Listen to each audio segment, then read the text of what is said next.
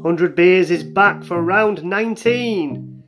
And this week, we're going back to the Caribbean and Trinidad and Tobago. Hang on a minute, that's a typo. It should be Carib, not Carol. She's that annoying woman who keeps commenting on your posts on Facebook.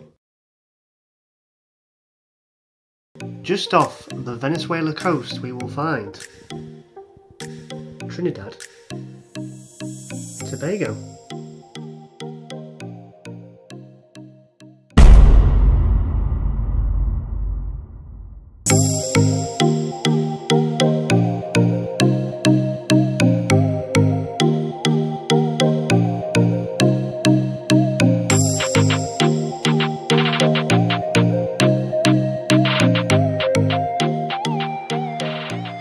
We're back, but this time from the 100 Beers office.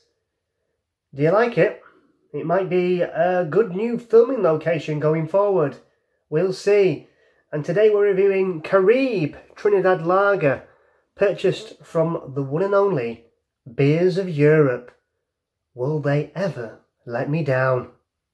I've since found, however, that Carib is also sold at major UK supermarkets, including Asda and Tesco.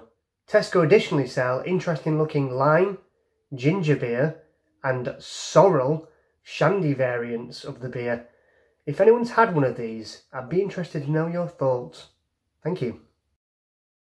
Carib Lager is brewed by the conveniently named Carib Brewery, headquartered in Champs Fleurs on the Trinidad island. The brand also has breweries in St Kitts and Nevis and Grenada. So, for those of you that don't know much about it, Trinidad and Tobago is a nation split into two islands Trinidad and Tobago. Obvious, right? It's the most southerly island nation in the Caribbean, sitting just 11 kilometres or 6.8 miles off the coast of mainland South America and the country of Venezuela. Like many of the world's modern nations, Trinidad and Tobago was once a British territory before gaining independence from the United Kingdom in 1962. Despite the popularity of Carib locally and across the Caribbean, beer is not the nation's main export. That would be petroleum, which contributes massively to GDP and middle class wealth within the country. Carib is a 5.0% premium lager with absolutely no description of taste on the bottle. It has a cumulative rating of 2.94 out of 5 on Untappd, so I'm not expecting anything particularly impressive. Let's find out.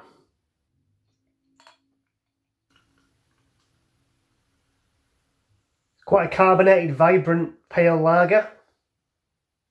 Wonder how it tastes. Let's go. So, like the Windhoek I tried a couple of episodes ago, this is a very carbonated lager. Almost too carbonated, you ask me. Um, the taste is actually quite nice, but the carbonation is very intense. I appreciate it is a beer from Trinidad, so it would be something you'd be more accustomed to trying on a beach or on a very, very hot sunny day somewhere in the Caribbean. yeah, it's okay.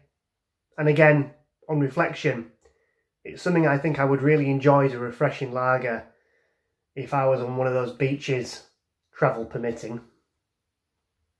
Not bad. Just make it less fizzy next time, please.